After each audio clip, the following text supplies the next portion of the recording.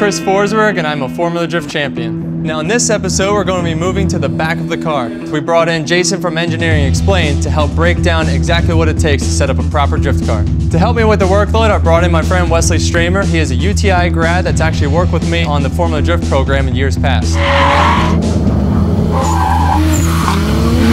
First step is to pull the old diff out and get a new upgraded rear end installed. So we're gonna take this factory flimsy mount out, toss that away. Moving on to this nice billet piece that's going to be a lot stronger and keep that diff locked and loaded. We've upgraded to a bigger rear end to handle all the extra power and we also now have a limited slip differential to make it much more controllable in drift. The purpose of a limited slip differential is to send more torque to the wheel with more grip. But in drifting this is important because you want to maintain both wheels rotating at the same speed. So as you come into a corner, the inside tire is going to have less load on it. With a limited slip differential, it's going to send more torque to that outside tire and you're going to be able to maintain that drift.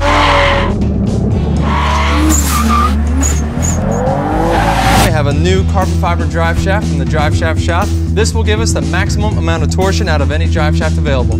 So torsion is the amount of twist that this drive shaft will have before it breaks. And a carbon fiber one can get up to 13 degrees of twist. Now that amount of torsion will actually limit the amount of shock that goes through the rear end and the axles, which will keep our mechanical failures to a minimal because with our new ACT 6 puck clutch, we're going to be getting a little more shock than our old organic disc. So now this carbon fiber drive shaft will help keep it from breaking anything in the back. Now moving on to the suspension portion of the rear, we have to get our mounts in place first. This is the factory mount. As you can tell, it's a little bit of stamped steel, real flimsy.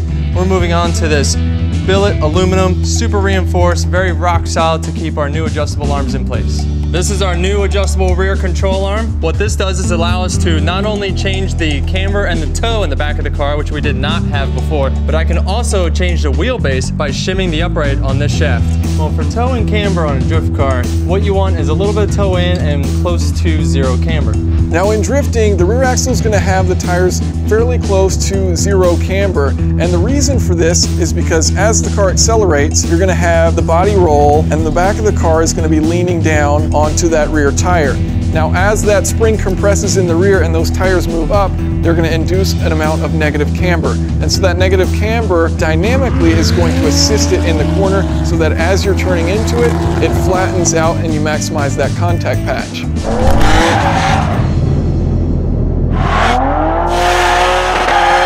Toe, you always want to be a little in because it helps the car track straight and drive forward when you're on the throttle. If you have toe out, as you apply the throttle, it just wants to keep rotating the car and it makes it a little more difficult to drive. Now with drifting, a street car and a track car are going to be a little different in how you set up the spring and shocks. For a track car, you're going to be going to the absolute extreme with the softest spring possible in the back and a very stiff shock to control it. On the street, you typically will want a little bit stiffer of a spring to handle all the bumps and the whoops, and then not as stiff of a shock so that the ride isn't so bad. The one link that controls the left and the right side of your suspension is your sway bar.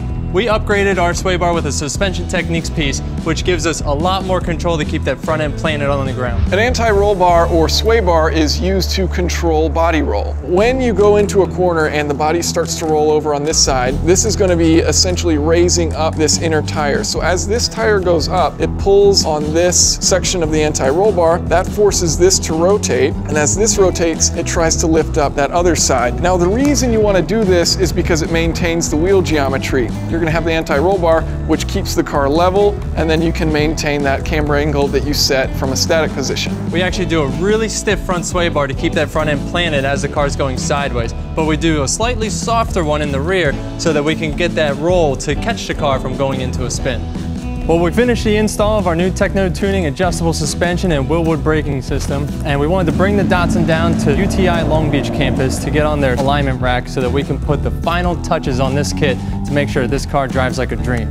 Alignment is super crucial. It gets all your wheels pointed the right direction. You would be surprised that a lower horsepower but properly aligned car can actually outperform a higher horsepower car without a good alignment. We're all lined up, last stop, everybody's favorite, donuts.